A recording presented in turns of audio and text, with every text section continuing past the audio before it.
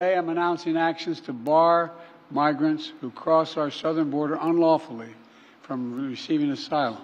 President Biden's executive order is changing the way immigration officials handle those who enter the country illegally. What I see from this executive order is they're trying to um, crack down on, you know, unlawful crossings. We spoke with immigration attorney Darius Amari. He says the big takeaway is just how quickly this order allows the federal government to turn away people which is a big change from how it is now. With the effect of this executive order, they could already be deported before they even have a chance to, to plead their case. The president's order allows officials to swiftly deport anyone who tries to cross without an asylum appointment. The order can be lifted if the daily average number of illegal crossings dips below 1,500, but it can also be reinstated if it goes above 2,500. I do think there'll be some exceptions. I did read that there would be exceptions for like unaccompanied minors and maybe people who have extraordinary cases. Victims of human trafficking is another listed exception. Well, those are the steps President Biden has taken towards the border. The Arizona State House is taking steps of their own.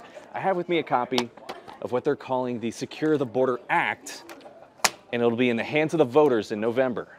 Amiri says if this act is passed, local law enforcement will have the ability to detain someone suspected of being here illegally, no matter how long they've been in Arizona, which is typically an authority only federal officials have. Let's say someone who came here as a child, never got their, their paperwork squared away, has been living under the shadows, working in a restaurant, or gets raided by sheriff's deputies and uh, you know, rounded up like cattle and put in a van and taken down to uh, Fourth Avenue and, and, and detained and deported.